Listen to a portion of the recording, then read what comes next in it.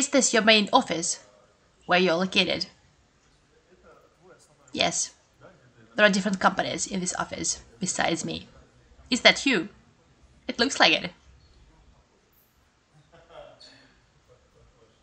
This is the man you just saw.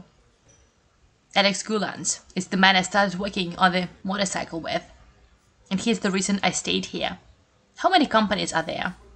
About 15 companies. So there are 15 companies that are developing energy efficient technologies. I would say they're working in different areas wastewater treatment plants, water facilities, agriculture, ecological toilets, heating systems, etc. So when you came to China, the government, in support of you, gave you the patronage to come here.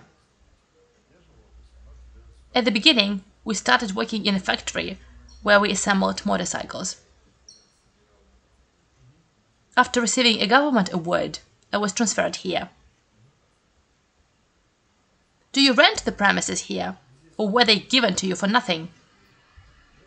They were given to me for free. Do they set any goals or objectives for you here? What is the policy on setting goals and objectives for the staff here?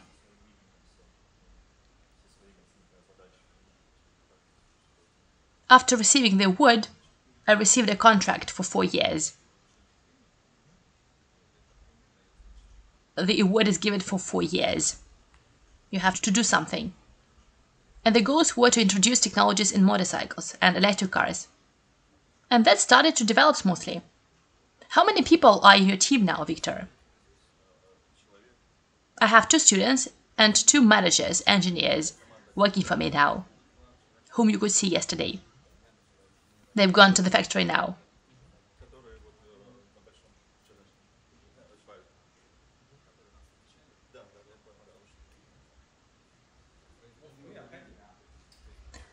OEM production is not what is being done now in Technopolis Moscow. That's where the development center and partial production is done. OEM is quite different. We have some technologies, but we do not produce them ourselves. That is, we make a prototype test it, and then give it to the factory. Here what you see in the workshops is practically only prototyping. Some modifications, small tests, and all the work takes place when we hand over the finished machine.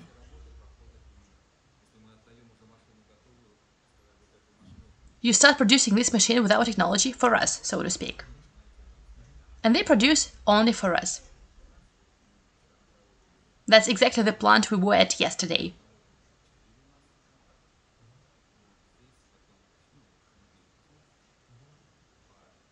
Three passenger cars and one very famous car that is sold in the world. That is, here you developed, finalized it, and came to him with it. Do I understand you correctly? Yes, we did some refinements because all the cars have onboard chargers that allow us to install additional batteries and recharge while driving. This is purely our refinement. Speaking about your partner, did he find you or did you find him?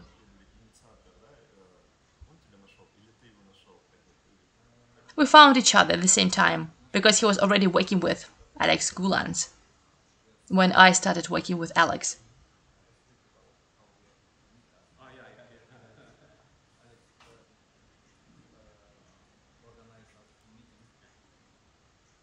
When I started working with Alex on the installation of the motor wheels and demonstrations in Monaco. I found him on the internet, and when I contacted him, I traveled over here, bought the bike, installed the motor wheel, and put it on display in Monaco. That car, that is the first one certified, was produced by the factory here in Weihai. The factory went bankrupt, there is a lot of competition, so many factories stop. It turns out that the cars did not make it to Europe. We sent two cars there. There is no needed quantity. The plant stops. They cannot deliver. They do not have time to change the design because molds are expensive. All the tooling is expensive. If they can't find a market, the plant just stops. And this plant can be given to more interested people the government gives it for free for 10 years. What you're looking at are four-seaters. In Europe, they go for two-seaters for commercial purposes. For example, pizza delivery, mail delivery. Two people in the front, and there's room in the back. Usually the trucks are of low quality, and this car for passengers is more comfortable. Is that right? A little truck with good, comfortable passenger qualities.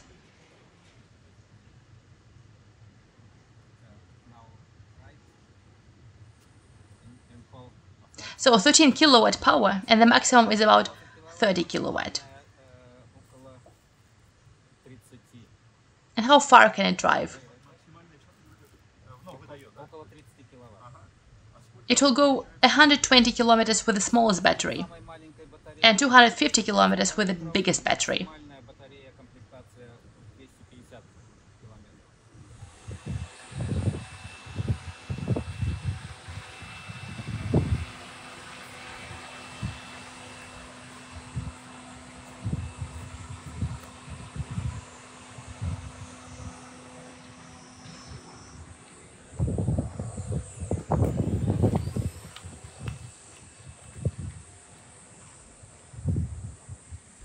Left here.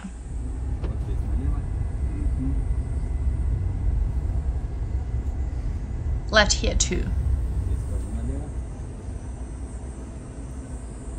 In terms of handling, it should be like a mini truck.